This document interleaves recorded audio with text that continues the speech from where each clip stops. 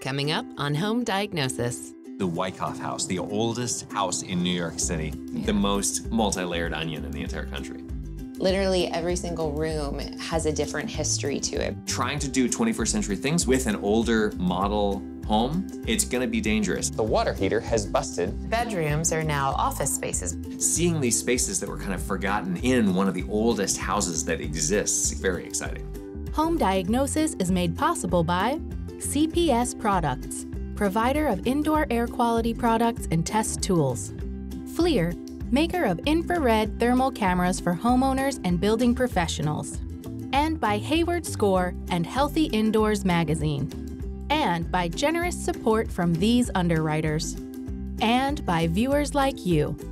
Thank you. Welcome to Home Diagnosis. We've talked about renovating old homes, but we've never dug this deep. We had the chance to park the Tiny Lab next to the Wyckoff House, the oldest house in New York City, and we pitted them head to head with performance testing. So let's explore the history of home performance with the queen of historic homes. Hi, I'm Corbett. And I'm Grace. Since we met, we've been partners in everything in work, in life, and in love. Fast forward to now, we've created careers in home testing, building science, and started a family. We also built the Tiny Lab to get people thinking about their home's problems dynamically. We use scientific testing to diagnose a house's problems. Because more than comfort, energy, or safety, it's about gaining control of your home. And with two cats, two kids, and 200 square feet, we know this intimately. For me, what was most exciting about New York City, we knew we wanted to test something really special, but we didn't know what house it was going to be. New York's got the coolest kinds of houses, you know, brownstones and, you know, really old, interesting structures. And then the New York City Parks came on board with Ian Minerve, and the Wyckoff House presented itself. Everybody loves before and after. And parking the Tiny Lab next to the Wyckoff House is the best before and after there is. What a family that built a house themselves back in 1650 versus what a family that built a house themselves in the 21st century would do with it is just really exciting. Our Tiny Lab, while it is tiny, it's not very small on the road and it's not very small going through gates. And we had to go through the tiniest gate possible to get into the Wyckoff house. The morning that I had to tow this house backwards in Brooklyn on a weekend in traffic in the middle of the day into this gate, I, I absolutely knew that I was super nervous. when you walk into the Wyckoff house, it feels very multi-dimensional. Literally every single room has a different history to it because this home has had so many additions so many things happened to this place to change how it was performing. It is yeah. the most multi-layered onion in the entire country.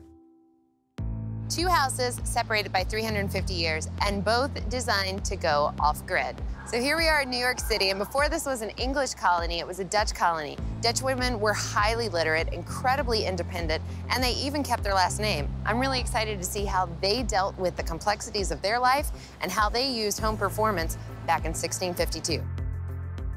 Here we are in the Wyckoff House, the original room that dates back to the 17th century. And this is Lucy Chen. She is the historian of the home. Lucy, can you tell us a little bit about the complexities of living in America's original tiny home? We met Lucy, the docent, who was going to be in charge of showing us around, and we immediately knew this woman was the real deal. She knew every story about what was going on in that house through the generations, which was invaluable because just seeing the house, is one thing, but if you know the stories about all of the different closets and the stairways and the mm-hmm. walls, and it was just amazing to see the intention and the, the culture behind what you see in the house. Well, I would like to welcome you to the Wyckoff House Museum. Thank you. Uh, this is the Peter Claesen Wyckoff House, and it is one of the oldest wooden structures in the country. It's the oldest house in New York, for sure. Lucy's a real New Yorker. She's got a background in theater and in costuming and like management. So she really understands telling the story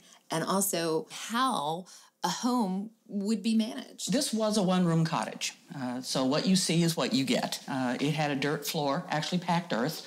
unglazed windows, doors and windows on the north side and on the south side. So there wasn't really a front and a back. One of the important features is this hearth. It's called a jamless hearth. These are unique to Dutch architecture. The fireplace was where you cooked and you heated and all this stuff. They spent literally all day long around the fire. That that was the central communal space. They're intended to stick out into the room like a range hood instead of sitting in the wall the way a fireplace would. The English would have cut a square hole in the wall and put the entire hearth stack on the outside of the structure. The Dutch encapsulated it within the house.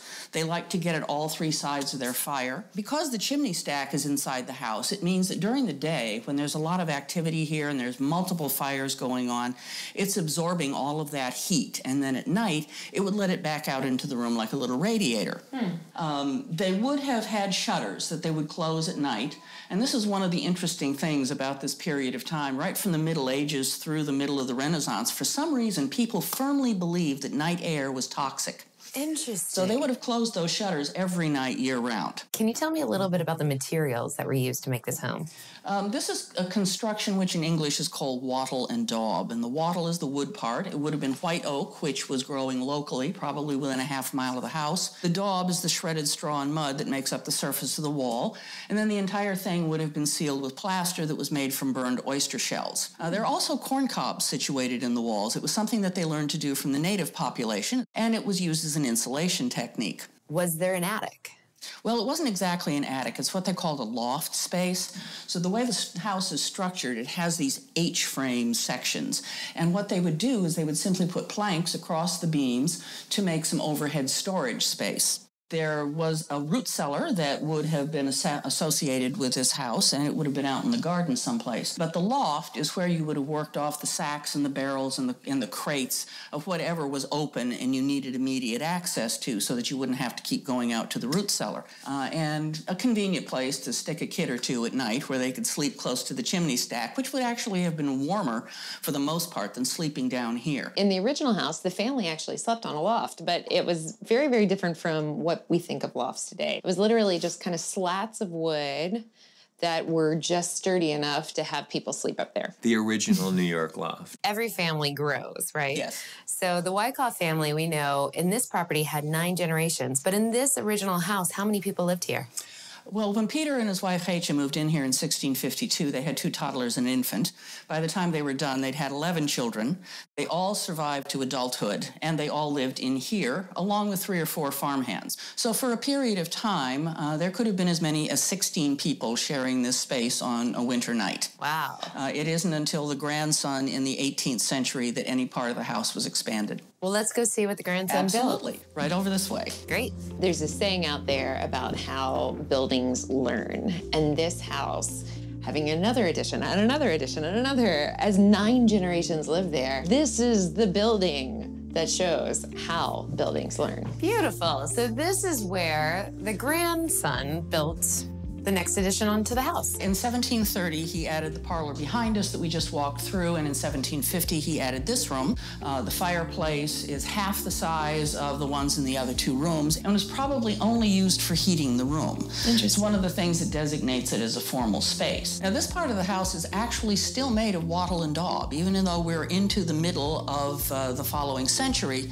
and they have every architectural technique known to Europe. They're still making these houses in the old-fashioned method. Uh, they knew how it was going to react to moisture and to heat and to cold, so they continued to make these farmhouses with that kind of construction. There is now a cellar underneath here, uh, and that would have been a much cooler space. During the winter, it doesn't freeze, and during the summer, it rarely gets above 62 degrees.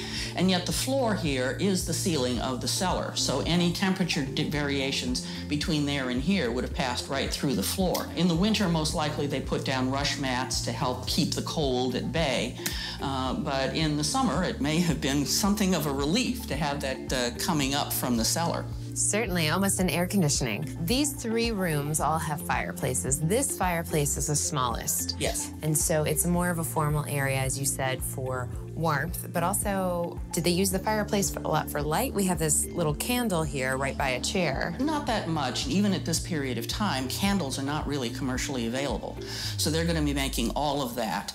Uh, they're going to use as few of them as possible. And there's what they call a task light. Uh, there would be one candle per night on on the table. Everybody would be surrounding it, doing whatever it was that they needed to do that evening. A candle, because they were trying to be energy efficient with their light use. So they literally will huddle all around one candle and everybody's reading or writing or at, at needlepoint. Ah. Just amazing. So that's again why they had the oyster shell infused white walls so that it would reflect as much light as possible because even in the daytime, not a lot of light getting in here. Uh, the tiles around the hearth, for instance, are all glazed. That's going to add to the reflectivity. Uh, all of the uh, sconces and the doorknobs and all of that metal work that's on furniture and on doors is brass, and it would have been highly polished so you could find it in low light because it would reflect everything. Nowadays, we expect every room to be as bright as we want, and we even refer to light bulb colors as daylight. So having this kind of bringing the outside in was not always a thing that people expected out of their home performance. What were some of the health concerns for people working in a big kitchen like this? Uh, houses like this, because you have, particularly in the 17th century, you had unglazed windows. There was a lot more air circulation going on in here, but that doesn't mean that your fire was not dangerous. Uh, they were extremely dangerous. Fire was the second greatest cause of death among women right through the end of the 18th century, the first being childbirth. To me, the kind of story about this house is a woman's story because the women spent a lot of time inside and there was a lot of the activities in there that were potentially even life threatening not in the way that we talk about now with you know carbon monoxide but also fire mm-hmm. childbirth all of this stuff was just kind of a, a live or die kind of a moment for these women in these houses in this generation. The fire was more about catching in your clothing. They would end up with second and third degree burns on their legs for the most part, and because medicine in those days was still not really considered to be a science, generally what they died of was the sepsis that set in afterwards. Lucy told us that the fireplaces were built to be super efficient. So, Lucy, you mentioned that the chimneys were especially efficient for cooking. Can yes. you explain what you meant by that? The chimneys drew very, very well, which meant they not only expelled pretty much all of the smoke, but they also supplied a constant draft, which put oxygen into the fire, and that's one of the things that you need in order to maintain the flames, and particularly the coals that they're using in multiple locations throughout the hearth. So, a big, big fireplace like this would actually make a home more drafty. They were supposed to suck like a vacuum. And so it was freezing cold in here. If you really had that fire going, it was just amazingly cold in that house. And it was because the air quality was the more important thing. The reason this fireplace worked so well in the Wyckoff house back in 1650 is because the house was leaky. If you build a house that's like the Tiny Lab, airtight, there is no way to suck things out of there. And this is what is interesting about this march through the ages of this house, through its additions, through its remodels. So our ventilation is unique because we constantly have fresh air coming in and stale air moving out. Right here, we have a chase that runs all the way along the house, and then it also dumps down into the sleeping area because we want fresh air to be going into our dining loft as well as into our sleeping nook. Now the ventilation system for the fresh air circulation is a separate system, but this is our heat pump. A heat pump moves heat. It is an air conditioner, so it steals heat from the inside in the summertime, but also it can create heat and pump it into the house in the wintertime. This one happens to be highly efficient. The energy efficiency of some of the units out there that you'll see on your neighbor's houses is about 13 or 14 SEER is what we call it. This one is 33 SEER. Also, it's running right now. And if you think about your neighbor's unit that sounds like a bandsaw when it turns on, and then listen to this one, you will notice a big difference. Noise control is very important to home performance control because we want to make sure that the quality of life gets better, not just energy efficiency. By the time we get into the 20th century here, we now have an HVAC system in the basement. So we have heat in the winter and air conditioning in the summer. And it's kind of compromised our cellars to a certain extent. The three major problems that we thought we were going to have with the Wyckoff house were dealing with the fireplaces and the attic and the crawl space. But they were not originally problems. When the house was originally built, those were all working fine. Now that we've taken it into the 21st century and tried to modernize it, introduced forced conditioning, yeah water heating, all this stuff to make it more comfortable for us. That's what has actually plagued its performance is these new factors that we've introduced. And the bedrooms are now office spaces because this is a working museum. spaces. Yes, there are no outlets on this side, so we don't have any ceiling lights. Uh, we don't have any wall plugs. All of that is in those three rooms on the 19th century side. So you rely a lot on natural light for tours. A lot on natural light. So, how would you like to see the cellar? I would love to see the cellar. Let's go. Trying to do 21st century things with an older model home, achieve mm-hmm. 21st century comforts, it's gonna be dangerous. And this is why the testing is so important to make sure you're not causing problems. So, welcome to my root cellar. wow, this is great. Yeah.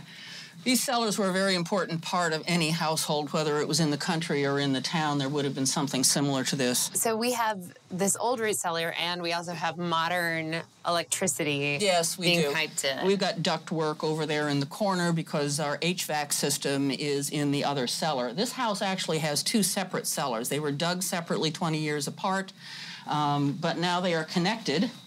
And back here in this room is where our HVAC system is. It's had its moments of efficiency, but for two years we didn't have any heat in this structure in the oh, winter. no, even though you had an HVAC system. Even though we had an HVAC system, it was not functioning properly. With the Wyckoff house, we knew we were going to have a hard time with the blower door metrics. But basically, the three major problems were going to be the same problems that we always encounter, which is Air sealing, insulation, and HVAC. One of the things we were able to do was we were able to help them solve some of their water heating problems. 1652 house was not built to perform like a 21st century house with air conditioning and hot water and all the amenities. And so there are a lot of problems with trying to make it fit that mold. First one is we're in a root cellar, which has a dirt floor. It's wet down here. Secondly, nice, wet, yucky condensation all over the duct system, partially because we're underground and it's a little damp in here, and also because the water heater has busted and is now leaking hot water all over the place, and there is actual steam in this room, along with all the other moisture from the ground. It's warm, moist air coming in contact with cold surfaces. We can tell with my infrared camera that I always carry with me that the duct right past the air conditioner coil is about 68 degrees. And I can tell with my humidity meter and my gauge that anything that is colder than 73 degrees in this room is going to be wet. So that's why we're gonna have a problem here. It's why you might have a problem in an attic or in a basement. Now we're gonna run the blower door test. Now when we run a blower door test on the Tiny Lab, we use this ring. And today, with this old house, we're gonna be using this ring. This house, of course, was not designed to be airtight. In fact, if it was airtight, that would be bad. So this house would have been tuned to be very air leaky. In other episodes, we've talked about air changes per hour. What are we looking for? What numbers? Well, the energy code of the future is going to be three air changes per hour, but we don't actually care about that here since this house was built before there was electricity, before there was energy codes. What the number would be for this house if it was built uh, this year in New York would be 800 CFM. So, knowing how old the Wyckoff house was, were you even thinking of doing a blower door test on it? Sure, totally. That's it's the most important test for anybody to do. Number one. Right. Number two. I was a little like, mm, this is probably not going to work because I only have one fan with us on the road, and, And this you- house was definitely going to be a two-fan job because you just can't reach the right pressure. Because it's so, So leaky. leaky.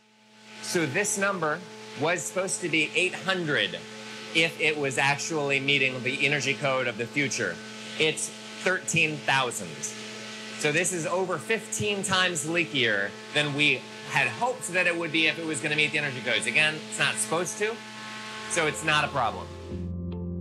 This house had probably never been tested like this No. before. So using an infrared camera on a house that had never had an infrared camera used on it before, testing the HVAC, even stepping into the attic. Nobody goes in the attic. It's not actually a used loft anymore. So seeing some of these spaces that are neglected. Yeah. It's nobody's job anymore to kind of go up there and visit. Nobody lives there anymore. So seeing these spaces that were kind of forgotten, hidden spaces in one of the oldest houses that exists in this country, getting to be the pioneers, the you know people who put the flag on the moon basically, and said, "This is what this house does," was just very exciting.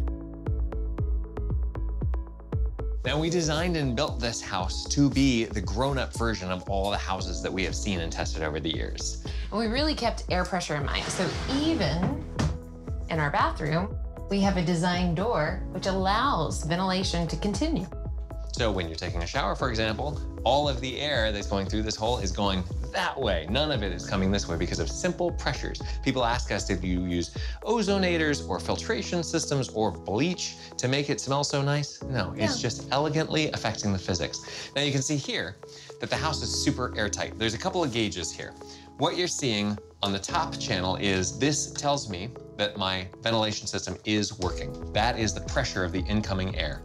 That pressure right there is the pressure in the house with respect to outside. That means that we're totally equalized. There is no pressure difference between inside and outside the house. That's what we want. That's why things like fireplaces and atmospheric draft water heaters are starting to be a problem with more airtight modern construction because you want that equalized pressure and you really have to pay attention to things if that's what you want.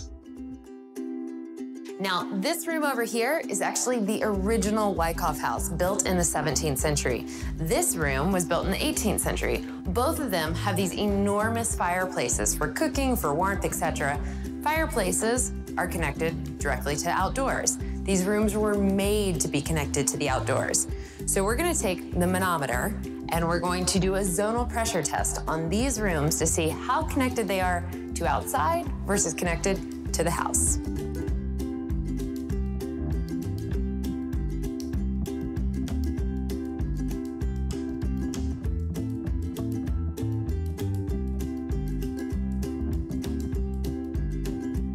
So we had the leakiness of the whole house in general, but also we had the crawl space that was not intended to be warm. It was supposed to be a root cellar. It was supposed to be cold and damp down there. That was intentional. And there was no insulation because they didn't have insulation in Yep. 1650. And then the attic, which was a sleeping place, but it was warm because the fireplace was warming everything and all the hot air was going up there. It also was super connected to outside. You can see with your own eyes there's no insulation, so it seems like, oh, this might be an opportunity for improvement.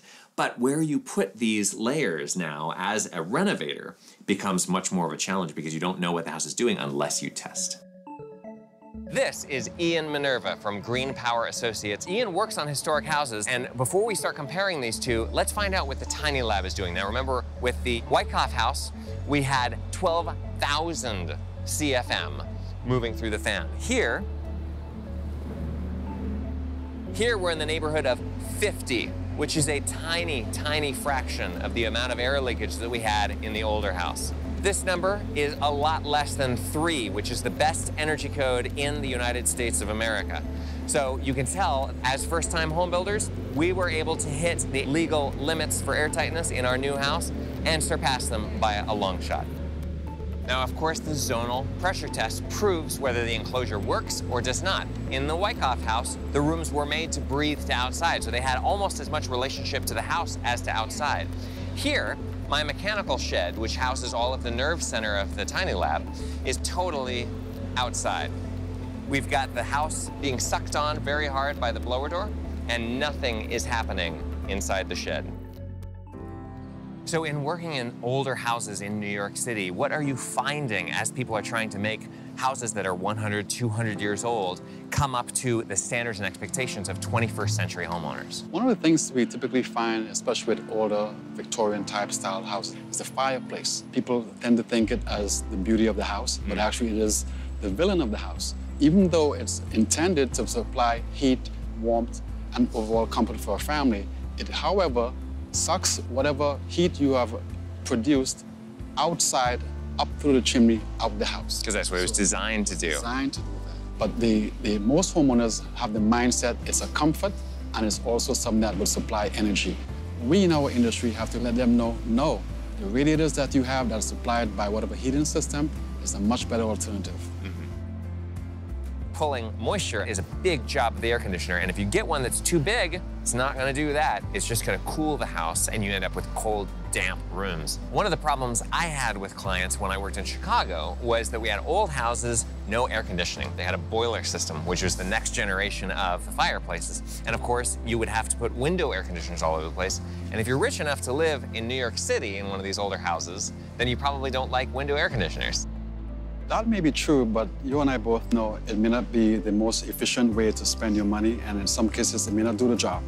You now have to create openings in the walls for ductwork, which again will bring to you more issues with air sealing, cost, and you're not necessarily guaranteed you'll get the desired result. If you do go that route, we certainly recommend a mini split system that should do the job at a lower cost and much more effective, much more efficient. Because it has no ducts. No ducts. Achieving today's home performance in the Wyckoff house wasn't really going to work because of decades of poor planning. But if you live in or want to live in a historic home and have the comfort and control of a modern one, you can. You just have to work with a home performance professional who can test for you and a contractor who can implement the design. So, do you have any advice, Ian, for homeowners in a 350 year old house? Test prior to doing any work or any improvements and test after you've done those improvements so you can see the significant changes that you should obtain from doing any work to make a house more energy efficient. Bam. Proof is possible. Proof is possible. I like, I like that near the end. Proof is possible.